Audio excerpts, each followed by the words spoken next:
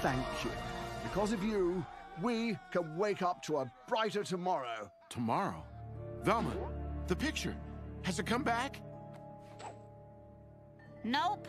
Oh no, you mean we've destroyed the future? No more video games? No more double cheeseburgers? No more Scooby snacks? no way to return home. Don't worry, Sir Fred. You can join me in my Knights of the Round Table. Uh, all of you can. Together, we can make the world a better place. Create a kingdom where everyone is welcome as long as they fight on the side of right. Together, we can make Camelot a beacon on the hill, shining a light into the darkest of places. Bravo, bravo. Velma, what are you doing? Oh, just applauding these fine performers. I guess that's the end of your little show then, isn't it?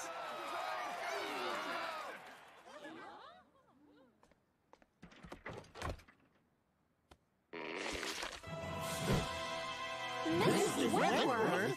Was she trapped back in time too? No, Shaggy. She's not back in time, and neither are we. But the photo on the phone.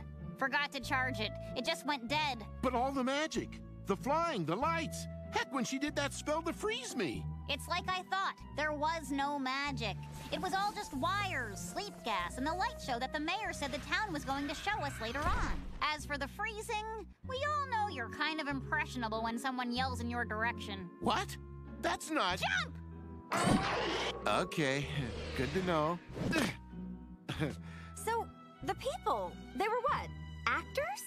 Not just any actors. This is none other than that wonderful British thespian, Winston Pilkingtonshire. Winston Pilkingtonshire? He's the actor who plays Thundar the Barbarian on TV, right? Right. I got even more suspicious when Arthur said demon dogs, one of Thundar's catchphrases. You know, you say the same lines for 30 years, they're hard to shake. But what really gave it away were the abs. I'd know those abs anywhere. Whoa, will you sign my tunic? Yes, it's me and my abs. But we couldn't have done it without this marvelous medieval Renaissance troupe. Everyone, please take a bow.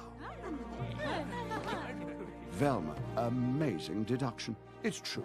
I was hired to be the inaugural actor to play King Arthur in Norville Ur Morgania's newest tourist attraction, Camelot Reimagined. Camelot Reimagined? What is that? It should be obvious, Daphne. Do you remember when we first arrived at Norval or Morgania? We reached that roundabout with the one road blocked off for construction. This must be some sort of immersive attraction built right next to the town to attract tourists. In fact, with the way that Camelot is centered in this small valley to obscure what's on the other side of that stand of trees, and how the castle only has windows facing one side, I'm willing to bet that Norville or Morgania is actually only a couple of miles away.